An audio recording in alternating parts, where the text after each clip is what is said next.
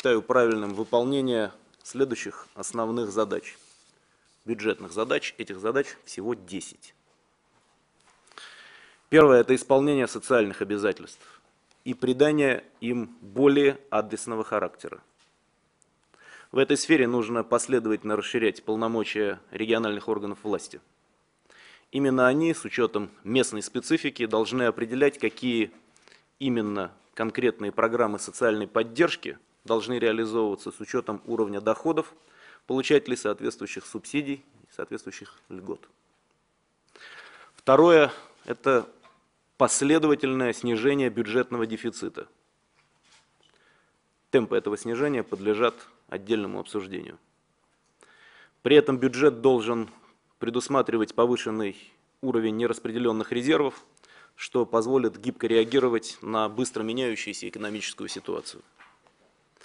В частности, нам необходимо будет позднее определиться с параметрами индексации фондов оплаты труда, денежного довольствия военнослужащих и минимального размера оплаты труда.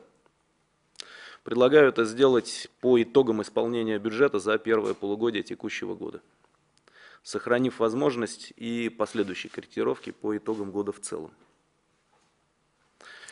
Третье. Переход к режиму жесткой экономии бюджетных средств. Подчеркну, конечно, что экономить – это далеко не всегда обязательно сокращать расходы. Хотя по многим направлениям, которые в нынешних условиях не являются первоочередными, делать придется и это. Важно четко определить приоритеты и цели использования средств налогоплательщиков. Следует последовательно внедрять в практику формирования бюджета программные и проектные подходы. Добиваться в конечном счете максимально возможного мультипликативного экономического и социального эффекта от каждого бюджетного рубля. Четвертое состоит в поиске оптимальных форм поддержки как реального сектора, так и финансовой системы. Повышение эффективности и прежде всего энергоэффективности и производительности труда, технологическая модернизация должны стать обязательными условиями государственной поддержки. Пятое состоит в кардинальном повышении качества публичных услуг, которые предоставляются гражданам.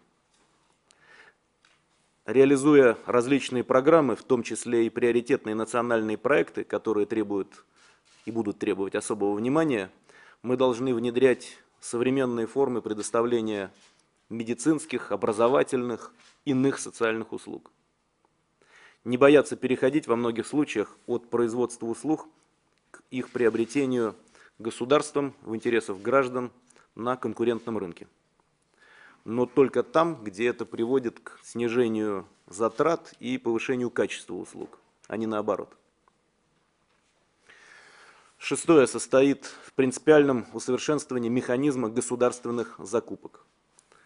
Этот механизм должен стимулировать технологическую модернизацию и конкурентоспособность эффективных производителей. В случае завышения цен, то есть по сути прямой коррупции, должны последовательно и оперативно пресекаться. Иначе мы будем продолжать вкачивать в экономику дополнительные деньги без должного экономического эффекта, обогащая при этом присосавшихся к бюджету преступников.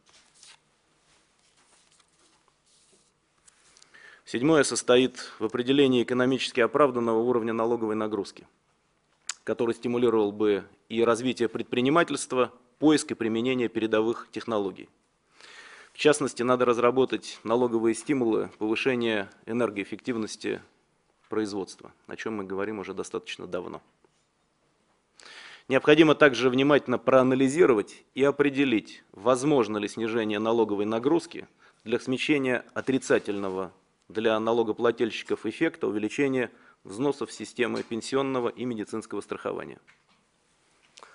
Восьмое.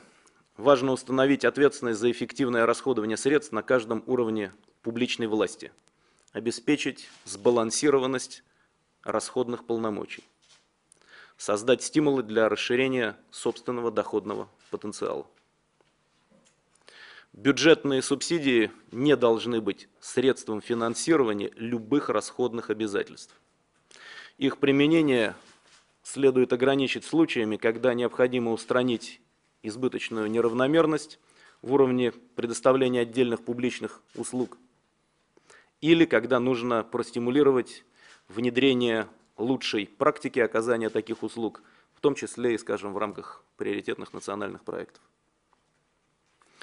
Девятое. Надо завершить формирование надежной и сбалансированной пенсионной системы, позволяющей обеспечить достойный уровень жизни для граждан старшего поколения. В 2010 году средний размер трудовой пенсии по старости должен превысить 8 тысяч рублей в месяц. Должна быть ликвидирована бедность среди пенсионеров, в том числе за счет социальных доплат к пенсиям, размер которых меньше прожиточного минимума в субъектах Российской Федерации. И, наконец, десятое. Необходимо приступить к созданию так называемой безбарьерной среды для инвалидов, определить и, соответственно, выполнить те меры, которые вытекают из ратификации Конвенции о правах инвалидов.